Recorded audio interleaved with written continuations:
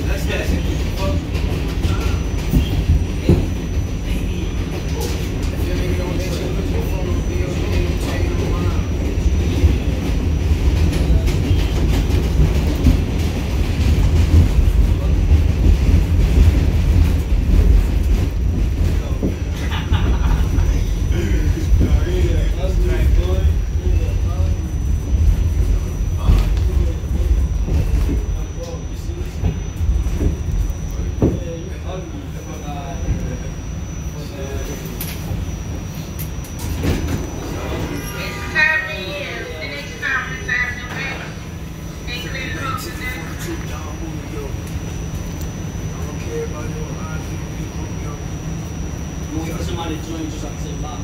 So I wouldn't say bye to myself.